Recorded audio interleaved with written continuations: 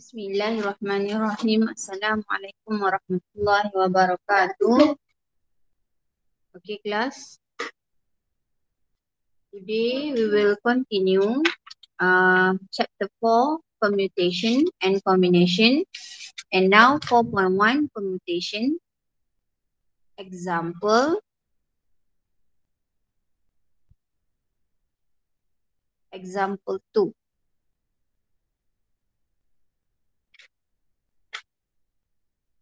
Okay, the previous lesson we discussed about discovery activity and we know the formula for n factorial equal to npn and this is equal to n multiply n minus 1 multiply n minus 2 multiply dot dot dot multiply 3 multiply 2 multiply 1 okay mas until 1. Okay, this is the formula for n factorial. Let's say example 5 factorial. 5 factorial. So this is equal to 5 multiply 4 multiply 3 multiply 2 multiply 1. Okay, this is factorial. Example 2.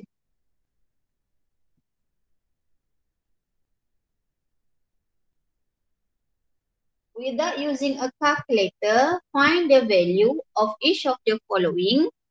This is page 122. Okay, without using a calculator, calculate 11 factorial over 9 factorial. So, 11 factorial, we know 11 multiply 10 multiply 9 multiply 8, multiply 7, multiply 6, multiply 5, multiply 4, multiply 3, multiply 2, multiply 1 until 1 over 9 factorial is 9 multiply 8 multiply 7 multiply 6 multiply 5 multiply 4 3 2 and multiply 1 but you look here 9 until 1. This is the same value.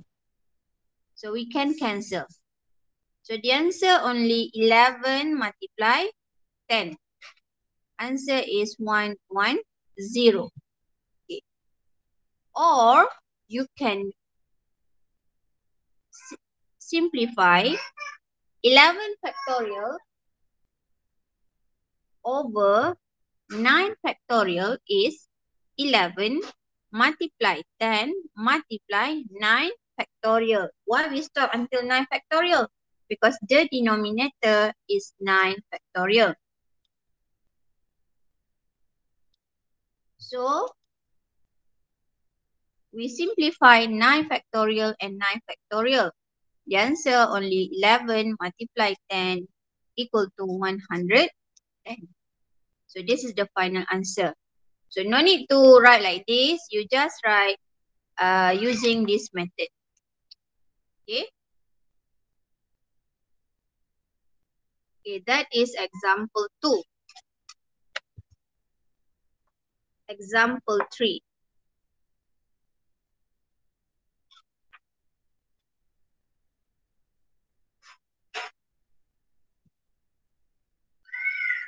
Find the number of ways to arrange all the letter from the word okay, B-I-J-A-K. Bijak. When repetition of letter is not allowed. Find the number of ways to arrange all the letter from the word bijak. So now you want five. Five letter. But we can uh, arrange B I J A K. Maybe we can arrange uh, B J A K I. Uh, okay. So how many numbers of way to arrange? Now, this is five letters. Ada lima huruf. So di sini berapa huruf yang mungkin? Lima huruf. B, I, J, A, K. Salah satulah maksudnya. And the question when repetition repetition letters is not allowed. Maknanya huruf itu tak berulang. Maknanya bila you dah pilih B, you tak boleh pilih B lagi dekat uh, uh, garisan yang seterusnya, tempat kosong yang seterusnya. Jadi daripada lima tinggal berapa huruf? Tinggal empat huruf. So nak pilih dari empat huruf.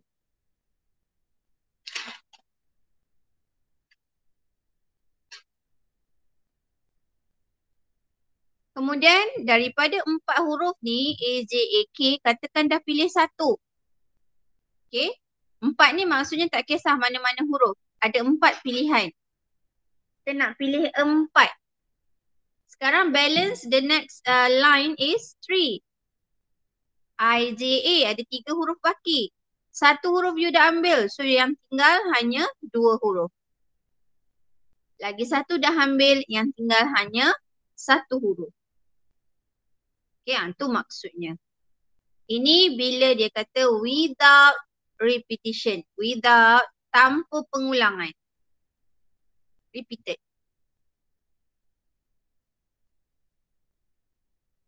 Okay. Jadi apa yang kita perlu buat dalam uh, nombor di garisan ini, kita darabkan sahaja. Sebenarnya 5 darab 4, darab 3, darab 2, darab 1 ini adalah 5 faktorial. Okay. So n itu adalah bilangan huruf. Okay, n adalah bilangan huruf. So 5. Jadi the number of ways to arrange the letter is 5 factorial. 5 darab 4, darab 3, darab 2, darab 1, So jawapan kita adalah 120, 120. Okay, ini bila case without repetition. Boleh faham ya setakat ni? Okey, seterusnya. Saya pergi kepada discovery activity. Page 1 to 3.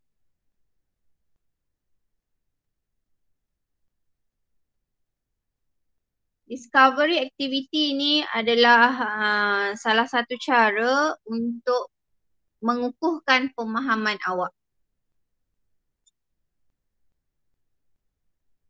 Okay, ini muka surat 1, 2, 3.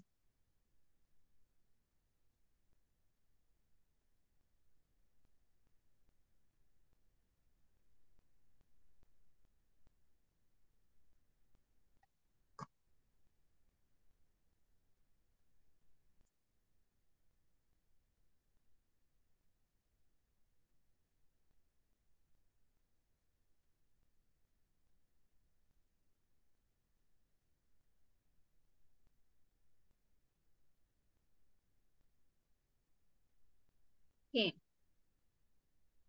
Discovery activity.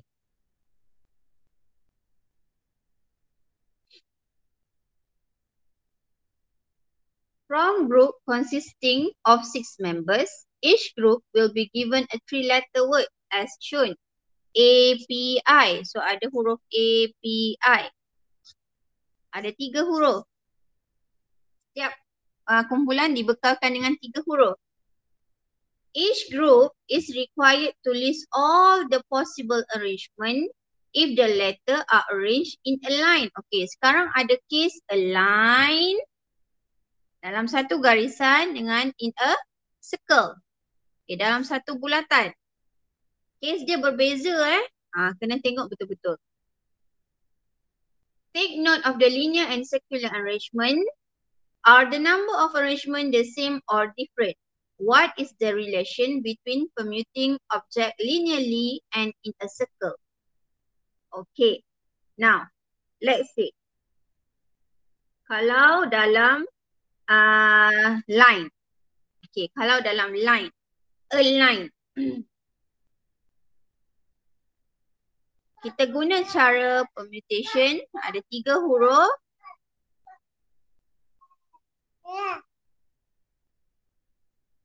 Okay, tiga huruf. Line yang pertama Ada berapa huruf yang mungkin, ada berapa pilihan yang kita ada. Okay, so three. Sebab A, P, I.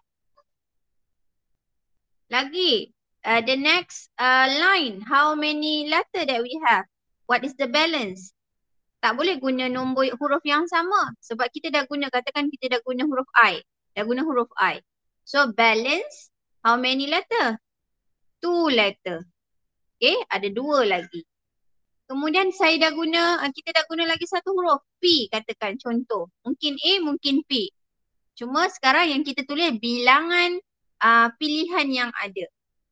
So yang lain, yang last kali mesti tinggal satu. So what is the number of ways?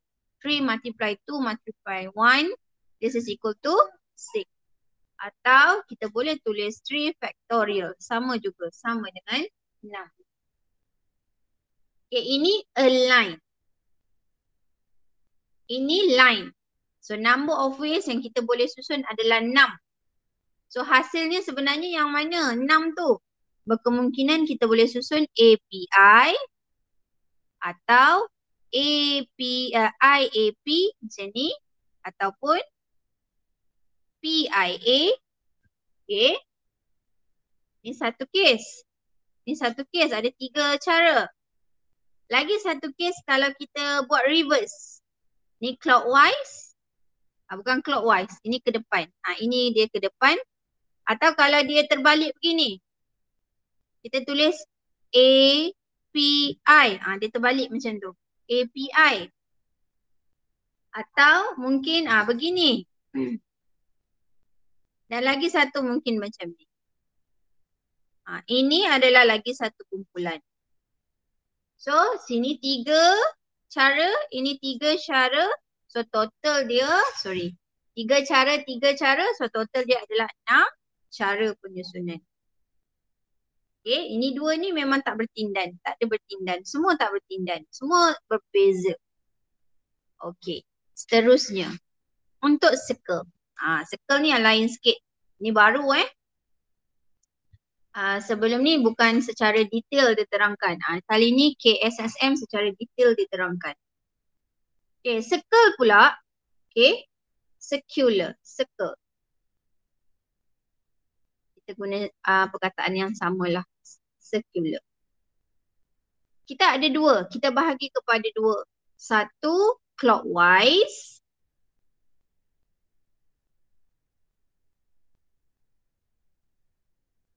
Clockwise.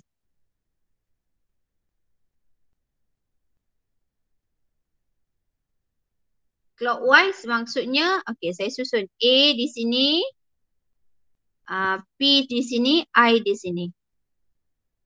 Susunan dia dalam bentuk circle API.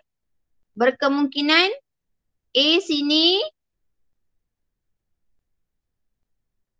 P sini, I sini. Okay, maknanya A ni saya pindah ni.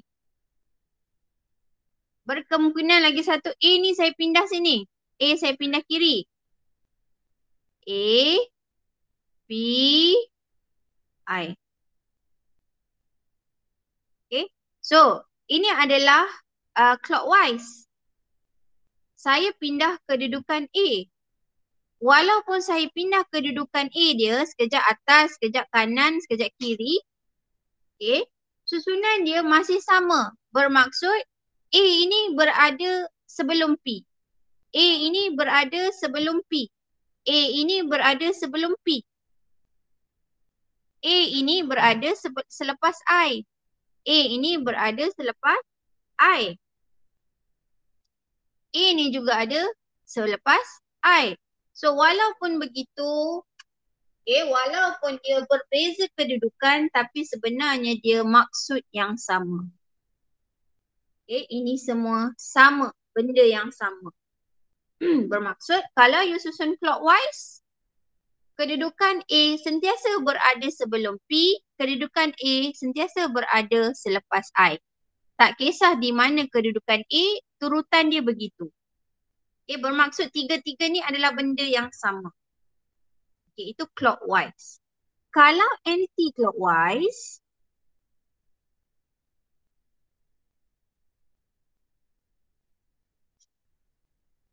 okay, kalau anti-clockwise, tadi clockwise eh,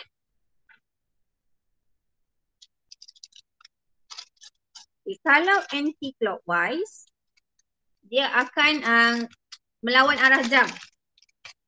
Dia ke kiri pula. Tadi API ke kanan. Sekarang API ke kiri. A ke kiri. P, I. Tadi API ke kanan. Yang ni clockwise API.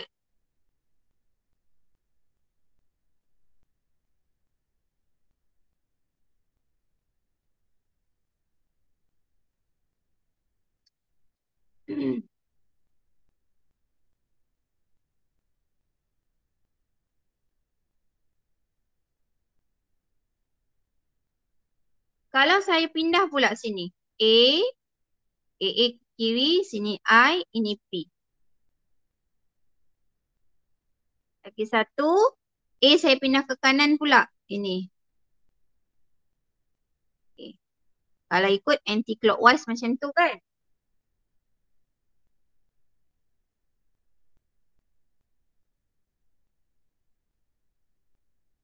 Anti-clockwise ini dia akan membina A A sebelum P I uh, A selepas I. Walaupun kedua-dua ni sama, A sebelum P sebelum P Okay. I I sebelum A walaupun uh, ini secara uh, apa kita panggil Ini susunan kita secara uh, anti-clockwise. Okay, tapi nampak tak perbezaan dia? Ini anak panah saya mewakili dia punya clockwise, anti-clockwise eh. Kalau dalam textbook tu, tu mewakili dia punya bacaan dia. Okay, yang arrow saya ini saya punya uh, clockwise atau anti-clockwise. Saya nak tunjuk. Tapi sebenarnya yang awak lihat adalah, yang awak lihat adalah kedudukan dia. Kalau yang ini A, P sebelah kanan, I sebelah kiri. Kalau yang ni A, I sebelah kanan, P sebelah kiri. Ha, itu nak tengok kedudukan dia. Yang arrow yang saya lukis tu adalah arrow menunjukkan arah dia. Satu clockwise, satu anti-clockwise. Okay, agak berbeza saya tunjuk daripada textbook. Okay. Yang clockwise, walaupun kita A di sini, so P di belah kanan dia, I sebelah kiri dia.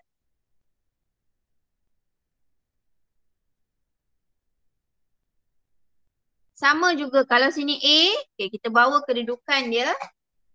Nak bagi dia letak di atas. Katakan A di atas kan. Ha, saya tukar kedudukan dia.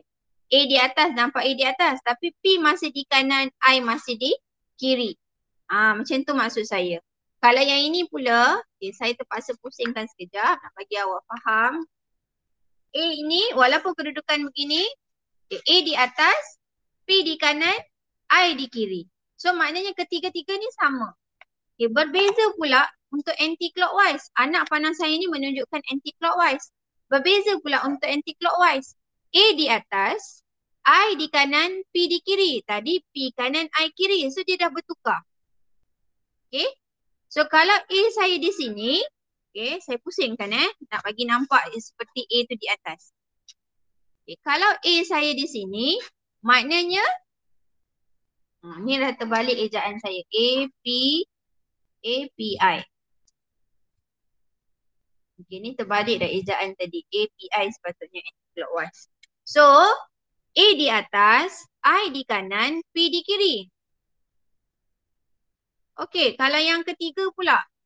Ketiga pula, maaf ya saya pusing nak bagi awak nampak sebenarnya. Saya nak bagi kedudukan A ni berada di atas. So, kita nampak I tu kanan ke kiri. So, I di kanan, P di kiri. Tu maksudnya I di kanan, P di kiri. Ini pun sama tadi. I di kanan, P di kiri. Kanan A. Kanan kita lah, kanan kita. Okay, ha, macam ni A. I di kanan, P di kiri. Tadi P di kanan, I di kiri. Susun macam mana pun, berpindah macam mana pun mengikut clockwise, susunannya tetap sama. P di kanan, I di kiri. Kalau anti-clockwise pula, I di kanan, P di kiri. I di kanan, P di kiri. Sama. Jadi bermaksud tiga-tiga ini juga adalah sama.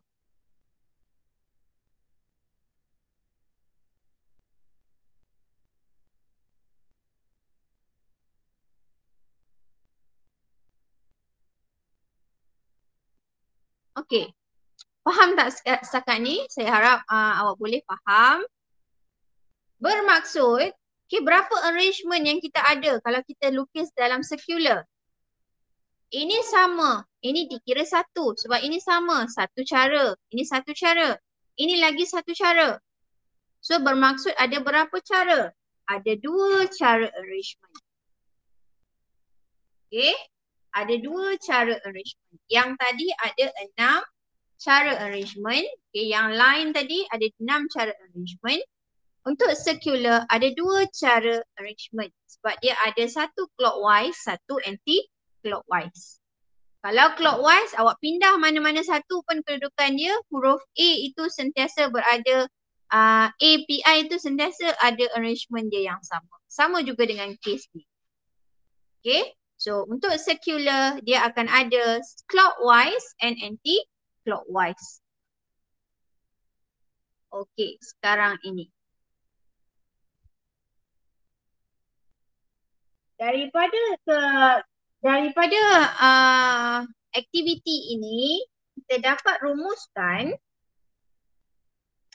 okey, kita dapat rumuskan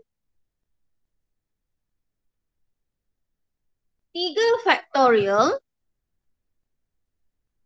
tadi asalnya tiga faktorial kan? Tiga faktorial dibahagikan dengan, dibahagikan dengan, okay, dalam satu kumpulan, dalam satu kumpulan ada berapa uh, cara yang boleh disusun yang sama? Ya, ada tiga cara yang sama, ada tiga cara, ada tiga susunan yang sama cara. Ada tiga susunan yang sama cara. Okay, bilangan cara dua. Berapa susunan? Ada tiga susunan. So, tiga factorial bahagi tiga. So, ini akan dapat dua. Jadi,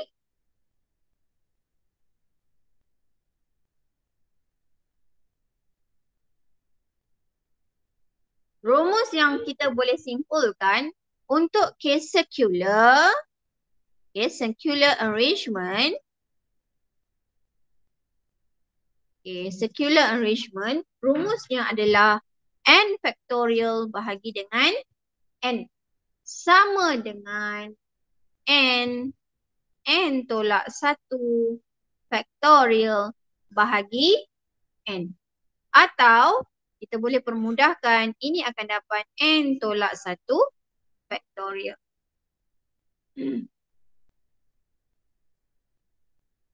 So circular arrangement n tolak satu factorial. Ini rumus dia, awak ingat. Kalau line, line arrangement, dia punya uh, rumus adalah n factorial. Circular arrangement dengan line arrangement. Saya harap awak boleh faham setakat ni. Hmm. Okey, kemudian kalau case uh, okey, itu case rantai. Ada lagi satu case rantai eh. Tapi nanti dulu saya pergi kepada contoh dulu. Okay, example 4. Saya pergi kepada contoh example 4. Determine the number of way to arrange six pupils N sama dengan 6. So N sama dengan 6. Nak susun 6 orang. To sit at a round table dalam dalam satu round table. Round table ni bentuk dia bulatan. Jadi guna sahaja formula sebab ini circular arrangement. Circular arrangement. Rumusnya adalah N tolak 1 factorial. So N tolak 1 factorial. 6 tolak 1 factorial Jawapannya adalah 5 faktorial. So 5 faktorial adalah 120. So ada 120 arrangement. Takkanlah kita nak buat cara api ni nanti nah, api ni pula susah nanti lagi lagi uh, pening kepala kita. So guna formula saja ada berapa cara arrangement 120. 120 numbers. Okay, to example 4. Macam mana kita nak tahu guna rumus ni? Sebab dia kata dia susun dah dekat round table. Bulatan, circular. So guna formula tu. Okay, tadi n darab dengan n tolak satu faktorial. Mungkin ada yang tanya saya, uh, mungkin ada yang tertanya-tanya, macam mana n, n tolak satu faktorial? Ada uh, sama macam kes yang ini tadi. Ah, uh, sekejap eh. Ah uh, ni. Sebelas, sepuluh, okay, sebelas, sepuluh, sembilan faktorial. Okay. Kalau saya stop sampai sepuluh, kalau saya stop sampai sepuluh, bermaksud dia akan jadi kalau saya stop sampai 10 eh, dia akan jadi 11 darab 10 faktorial. Itu ha, maksudnya 11 darab 10 faktorial. Jadi yang 10 faktorial ni lah, ni katakan ni n. Jadi ini adalah n tolak 1. Ha, sebab tu tadi n tolak 1 faktorial. Sebab tu tadi dalam uh, rumus tadi secara general, okay, secara general, n darab n tolak satu faktorial. Okay, di sini sebab. Okay, tadi ada lagi satu case.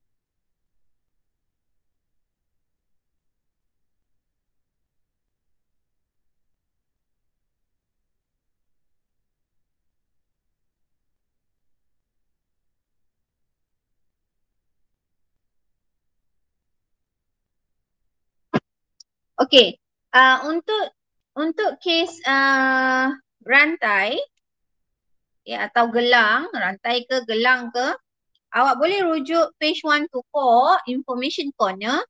The arrangement of object in a circular bracelet or necklace do not involve clockwise or anti-clockwise direction because both are the same. Okay, kalau melibatkan rantai atau gelang, okay, bilangan arrangement dia uh, dia tak ada clockwise atau anti-clockwise. Kedua-duanya sama. Jadi formula dia, okay, the number of arrangement is like arranging an object in a circle and divide by two. That is, ini kalau uh, case rantai atau gelang. Gelang atau rantai eh. So rumus dia adalah n minus 1 factorial divided by 2.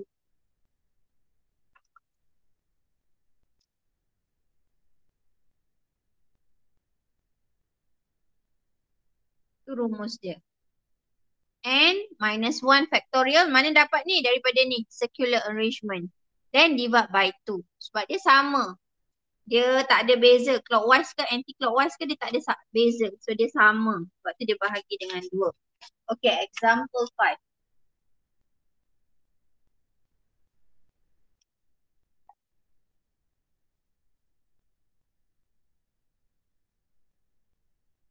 Hmm. Okay, dia nak buat uh, toy necklace. Find the number of way to assembly 12 bits. Ada N dia Okay, kena tulis. Awal-awal kita tulis N apa? N 12. Of different color. Okay, color yang berbeza. So, kita tahu dia nak buat necklace. Formula dia akan jadi N tolak 1 factorial divided by 2. So 12 minus 1 factorial divided by 2. So answer, this is 11 factorial over 2. Answer 19 million 958 400 ways. Okay. So guna formula sahaja. Gantikan nilai dia.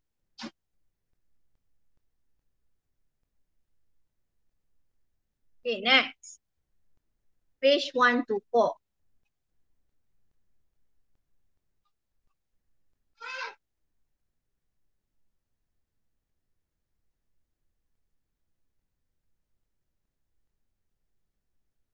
Tadi case kita guna N tu semua. Maknanya ada N, N dia 12, kedua-12 kita guna. Okay. Itu case yang sebelum ni. Maknanya uh, awak guna N factorial, ada N bilangan uh, data, ada N, bilangan huruf ada N, kita nak pilih N juga.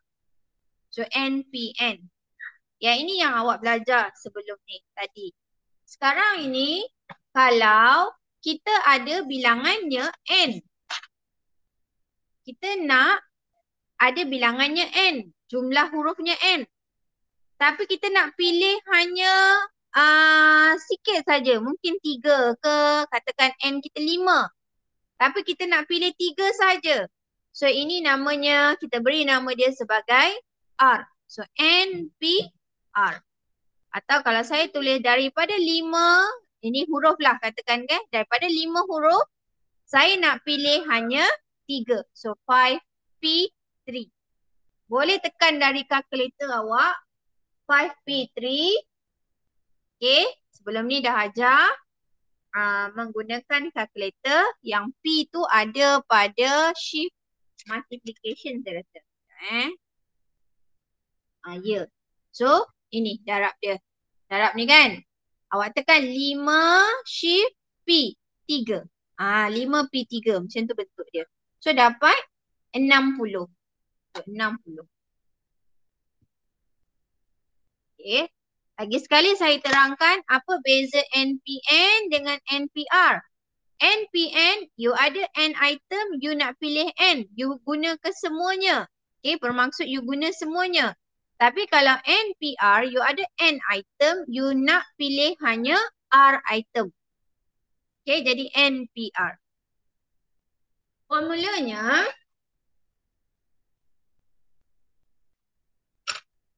okay, formulanya adalah NPR equal to N factorial over N minus R factorial and R must less than N. Less or equal than N.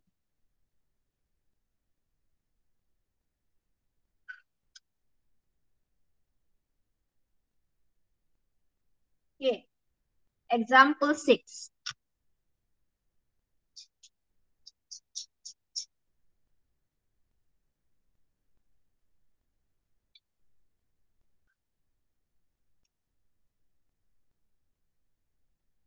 By using a calculator, find the value of 6P4 without, sorry, without using a calculator. Find the value of 6P4. So, tanpa menggunakan calculator. So, this is 6 factorial. Okay, 6 factorial over 6 minus 4. N minus R. So, 6 minus 4. This is 2 factorial. Okay, 6 minus 4. 2 factorial. So saya nak stop sampai dua sebab denominator dia sampai dua kan. Dia enam darab lima, darab empat, darab tiga, darab dua factorial. Okay nak tulis sampai satu pun tak apa sebab lagi satu je darab satu. Ha, boleh. Ataupun uh, you nak biar dua factorial pun boleh. So ni dua factorial is two multiply one. So ini potong. Uh, 30, 6 darab 5, 30 darab 4. 120 darab 3, 360. Without using calculator. Tapi boleh tak awak guna calculator? Boleh untuk menyemak sahaja. To check your answer, yes, you can use calculator. But if the question asks you without using calculator, you need to show this method, this solution. Okay, sebelum saya pergi example 7, awak cuba tengok page 1 to 4, page 1 to 4. Determining the number of permutation of n different object taking r object each time. Yang bawah sekali tu, yang bahagian bawah.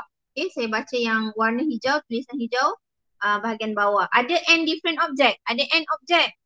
Tapi nak pilih hanya R sahaja. Sama case macam yang saya terangkan tadi. Okay, you have learned how to calculate the number of ways to arrange four letters.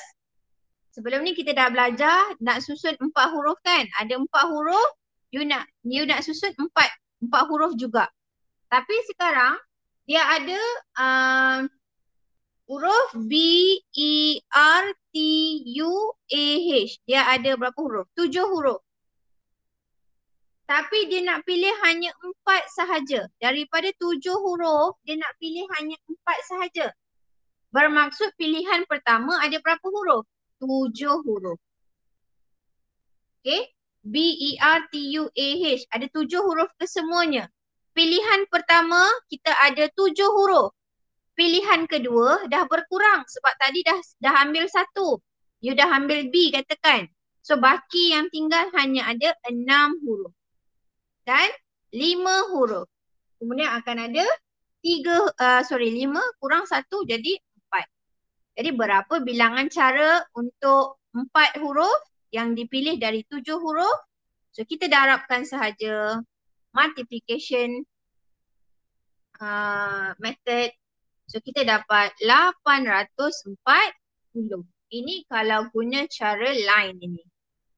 Kalau guna cara formula, awak hanya tekan calculator, awak boleh buat 7 dari 7 huruf, kita pilih hanya 4.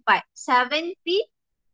So now 7 factorial over 7 minus 4 is 3. 3 factorial. So answer, kalau saya buat without using calculator, ha, saya tekan ini, uh, saya buat ini. So ini potong habis. So yang tinggal ini adalah sama juga 8, 4. Kalau soalan tu tak tunjuk, tak tak nyatakan yang uh, without using calculator. Okay, dia kata uh, calculate saja. Tak ada tulis pun without using calculator. So bolehlah you guna calculator. You ambil 7P4 ni, tekan 7P4 equal 840. Ha, terus tulis itu sahaja. Itu masalah. Okay, tapi kalau soalan dia kata without using calculator, so mesti tunjuk cara. Okay, example 7. Hmm.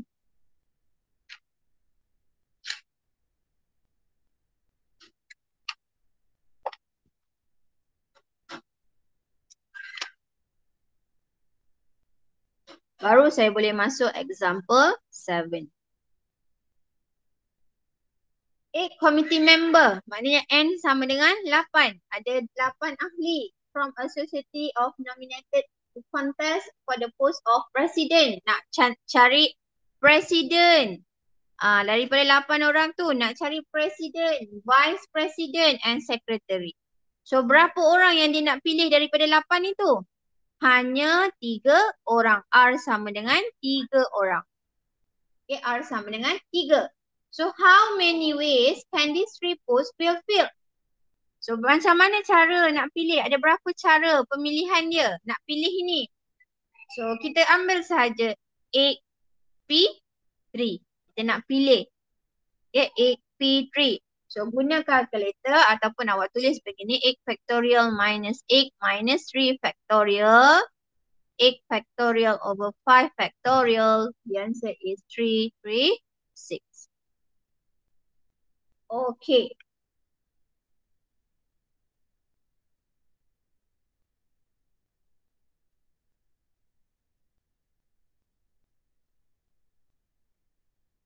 Bawah example 7 tu. consider the following situation. Let's say dalam petak merah tu eh, saya baca dalam petak merah tu. Let's say four letter from the word, okay, ni eh.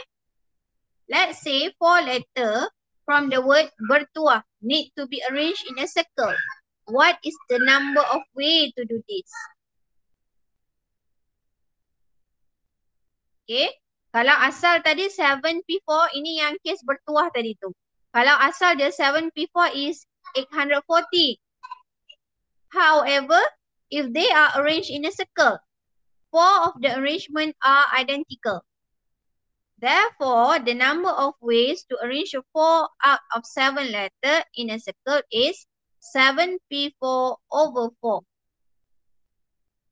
equal to 840 over 4 equal to 210. In general, okay. Okay, sebab dalam satu circle tu akan ada empat huruf saja kan. Okay. Maknanya satu kumpulan tadi, satu kumpulan api tadi tu. Api ni. Satu kumpulan ni ada tiga huruf kan. So ada tiga arrangement ni tadi hmm. Yang ini nak empat huruf daripada bertuah tadi. Ini yang kes bertuah tadi.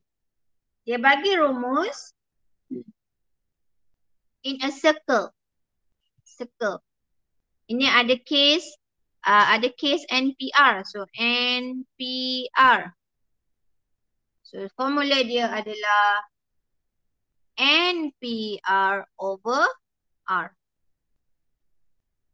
R tu maksudnya berapa yang kita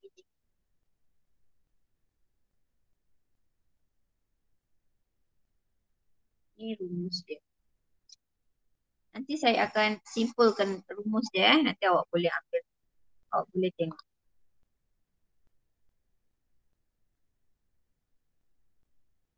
Okay, lagi satu. Excellent tip. Ha, ni mungkin ada yang tak perasan a permutation of an object in a circle where clockwise and anti-clockwise arrangement are the same.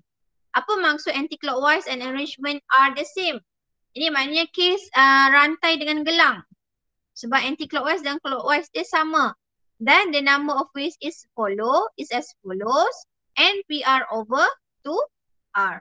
So saya rumuskan di sini kalau dia bentuk necklace atau gelang atau uh, rantai.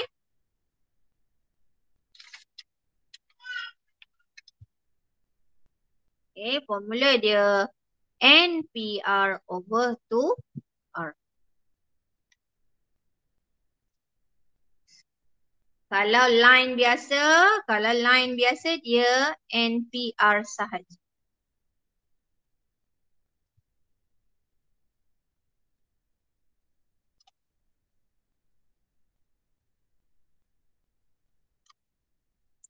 Yeah, example eight.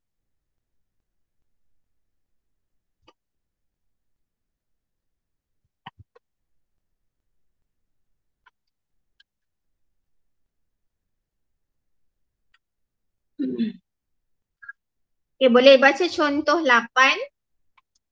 And dia berapa? And dia 12.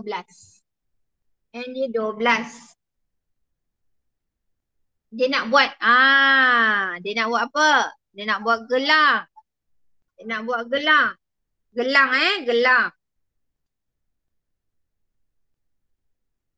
tapi dia realise dia nak guna nak buat gelang hanya 8 sahaja dia nak pilih 8 sahaja daripada 12 tu how many ways are there to make the bracelet so nak 8 sahaja so ini case gelang dan rantai.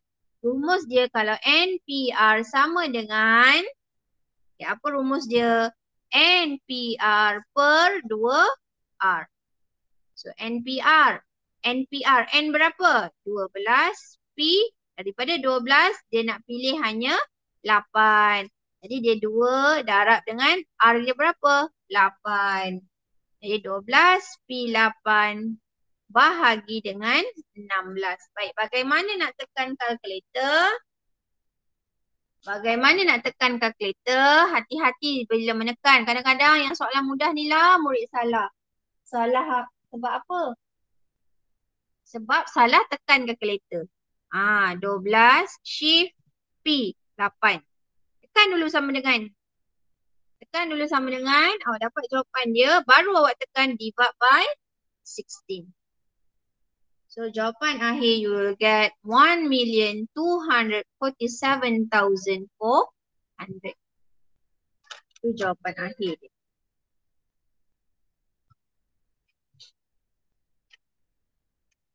Okay, saya rasa itu saja untuk hari ini. Terima kasih kelas.